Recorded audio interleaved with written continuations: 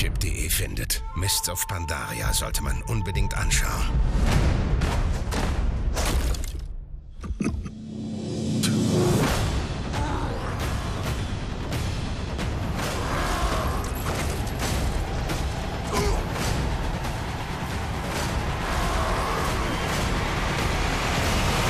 World of Warcraft. Mists of Pandaria. Jetzt kostenlos testen auf warcraft.com.